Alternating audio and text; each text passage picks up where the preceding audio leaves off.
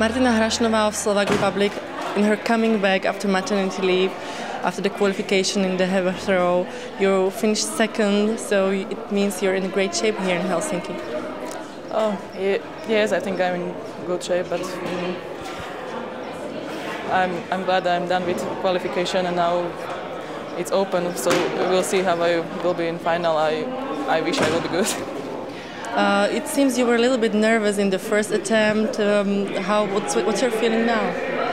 Um, now I'm okay. Yes, I was nervous because my warm up was good, but uh, with falls, so um, I was quite nervous. But now I'm done. I'm glad. now, without the favorite Betty Heidler, what we can expect from you in the final? Will you fight for the medals? Oh, I will try. Everything is open. I think Anita is also in good shape, and other girls can throw far. Mm, I hope I can too. Your little daughter is waiting at home. Is she also supporting you from Slovakia?